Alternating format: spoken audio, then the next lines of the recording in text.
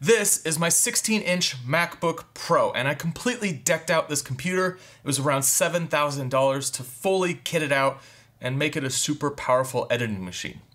Now, this is a $700 base model Mac Mini, and this computer outperforms this computer with everything that I do. So, in this video, we're gonna go through 10 reasons why you are gonna ditch your other computers and you're gonna get a Mac Mini M1 base model. And I'm gonna go through why I think this is such a powerful computer, but I'm also gonna talk about why you might wanna avoid this computer.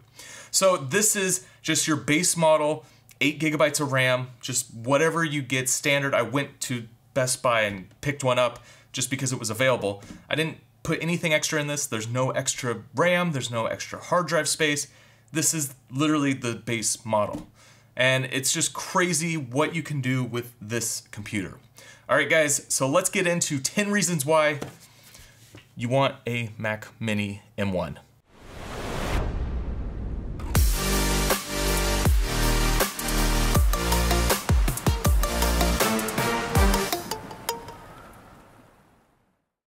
So I've got just a whole bunch of Apple computers right now. This is the 13 inch MacBook Pro M1. I actually picked this one up as well. And both of these together, base models, are much cheaper than this thing was. And I'm gonna sell this thing because this 16 inch MacBook Pro, completely decked out, still cannot compete with either of these computers. It's crazy. So the first reason you'd wanna get the Mac Mini M1 is speed. The speed of these computers is insane. There's really nothing on the market that really competes with it because Apple's developed an entirely new architecture for how this processor works.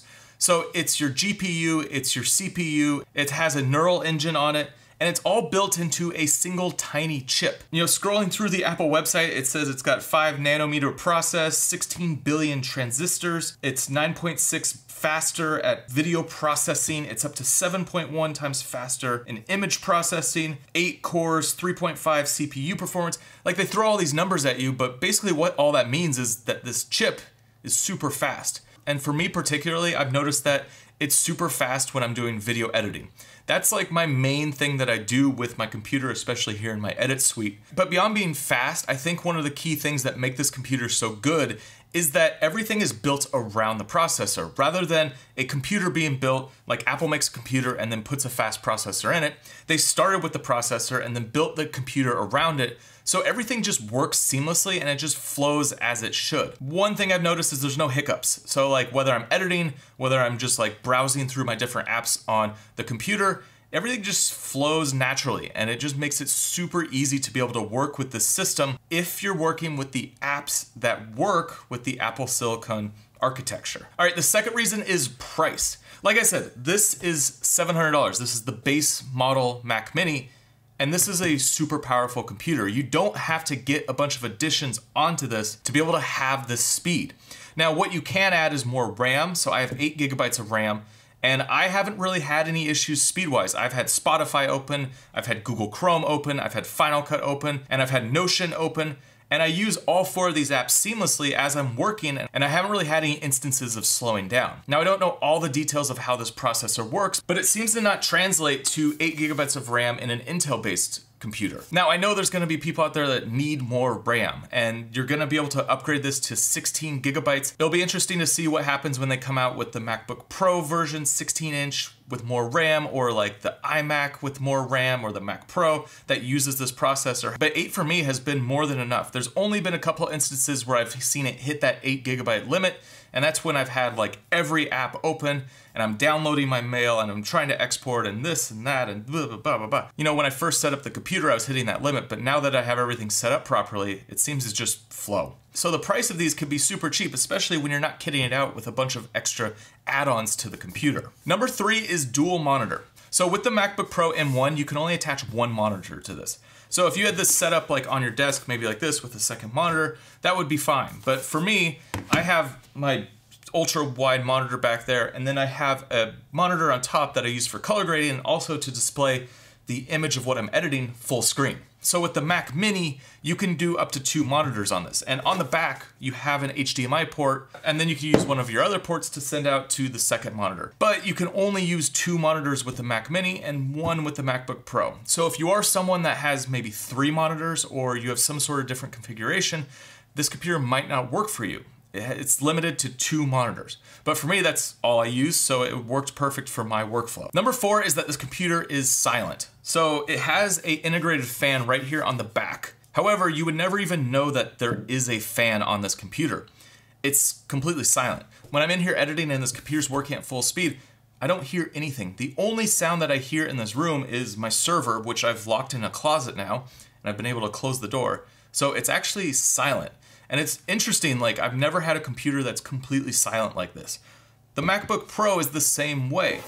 This computer, I've been playing around with it for the last week, editing on it, doing a bunch of stuff. I actually haven't even charged it yet. And this computer just doesn't make any sound. Like, they're silent computers, but they, you know, it has a fan in it. Like, you would think that you would hear something, but there's nothing. It's just silence, which is really cool. Number five is ports. So the reason that I say the Mac Mini is better than the MacBook Pro is because you have all your I.O. ports on the back. You have a power port, you have an Ethernet, you have two Thunderbolt 3, you have an HDMI, you have two USB 3, and you have your audio out. So you have everything you need to connect to a desktop setup. Like I was saying, I have this two monitor setup. I actually put this computer in a rack case down below on the ground and I have all of these ports filled. Now the only attachment I got was a little breakout box to add a couple more USBs to this computer, but my workflow is pretty simple. I have a SSD drive, little SanDisk guy. This isn't the fastest that you can get. This is only like 550 megabytes per second, but I've been able to edit off this no problem. I mean, it's still cheap. Two terabytes, look how small this is, and you're able to edit, you know, anything off of this. I have a T7 coming. It's a little bit faster. I actually bought a Sabrent, is that how you say it? And it was an 8 terabyte SSD. It was a $1,400 SSD drive, and it's the fastest that you can get for one of these tiny little SSDs. Now, that's more expensive than this computer, which is crazy. However, I was using that drive and I transported four terabytes of data over to that drive and fried it. Like within minutes, that drive got so hot, like it was just way too, you couldn't even touch it. And a few minutes later, the whole thing just fried and now it doesn't mount to any computer. So I essentially have a $1,400 paperweight. So I decided to go a different route. I got these two terabyte drives. I'm just gonna use a few of these instead of just one big drive. The one thing I did like about the MacBook Pro 16 is that I had an eight terabyte hard drive in this, so I could keep everything on here and then just carry a backup drive with me. But it's something to think about if you want more internal storage. These only max out at two terabytes and the lead time to get one of these computers with two terabytes is pretty far out. So I opted for base model.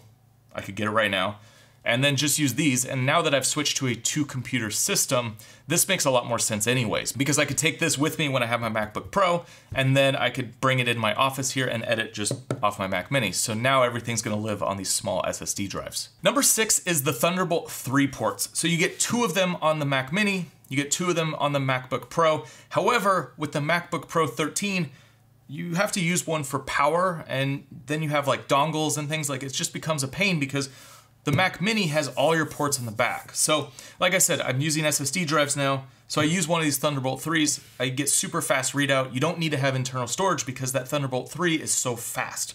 Now you could use the second Thunderbolt 3 for another SSD, but what I've used that for is my other monitor. So for my workflow, this seems to work great, but having two Thunderbolt 3s is more than enough for me. And I think for a lot of you out there, two Thunderbolt 3s is great. But with the Mac Mini, you get all the other ports as well. So you're not having to deal with a bunch of dongles. Whereas with the MacBook Pro 13, you're gonna probably have to get some sort of dock. Number seven is a big one. Final Cut Pro. So Final Cut Pro X is now optimized for Apple Silicon. So what that means is you're getting blazing fast speed when you're editing, exporting, rendering, everything. So what I've found is that there's just no choppiness on the timeline. There's no hiccups, like everything just works as it should. And then on top of that, you can put pretty much any camera into this, and I haven't really had any issues yet. So I'm using my a7S Mark III. I'll use 10-bit footage, 120 frames per second, and plays back smooth. I haven't tested things like Red Raw or 8K or this and that, but for my workflow working with this camera, 10-bit, it's seamless. And on my 16-inch MacBook Pro, I couldn't do that. Now, the one time I was able to get it to slow down is when I put four streams of 10-bit into a multicam and tried to play back all four streams in real time. It won't do that. So there is some limitations. It's not perfect. However, for most of you out there, if you're just working on the timeline, you're not gonna see any hiccups or any slowdowns with this computer. One other thing I've noticed is that in the upper right hand corner of your viewer, you can say show better performance or show better quality. I've always had to have better performance checked because on the 16 inch MacBook Pro, it would slow down if I had the better quality. Well, on this computer, I have the better quality checked. I can see better quality as I'm editing and I'm not seeing any slowdowns. So just working in Final Cut Pro, what I've noticed is it's just seamless. So if you are a Final Cut user, you're gonna want one of these computers. Now, one downside with Final Cut Pro is that not all the plugins are working right now. So I use Color Finale for all of my color grading, and that software has not been updated to work with Apple Silicon. So you're gonna have to look at all the plugins that you use and see if there's anything major that's gonna be an issue if you're switching over to the M1. So for me, I'm just gonna use the color grading in Final Cut until there's an update. However, you know, there are some other plugins I've noticed that just don't work. So you just need to check if your plugins that you use are gonna work with the M1. Now, number eight is size. So both of these computers are tiny, but the Mac Mini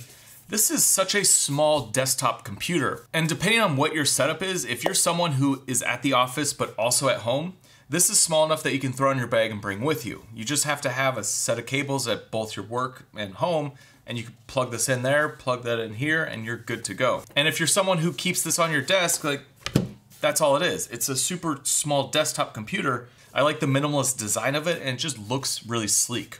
Now, if you are someone who needs a laptop, well, these are also small. Now, number nine is compatibility. So if you have apps that don't work on the new Apple Silicon architecture, then there is a piece of software that Apple includes called Rosetta 2. And what that does is it basically translates an Intel-based app into the Apple Silicon, and it does it seamlessly. So if you have an app that doesn't work with these computers, Rosetta kicks in and it, it actually does some magic and all of a sudden you can use the apps. Now you need to check all the apps that you're going to use on this computer and make sure that they are compatible in any way because there might still be some issues depending on which apps you're using. However, what I've found is that either the apps that I use have been translated into Apple Silicon or, you know, the Rosetta 2 kicks in and it works fine. So for me, I haven't had any compatibility issues yet. The only thing that I've had is plugins in Final Cut not working. So you just need to check, will the plugins and will the apps that you use be able to work with the Apple Silicon. I've seen a lot of videos coming out where people are talking about how bad the system is because it doesn't work with their apps. Well,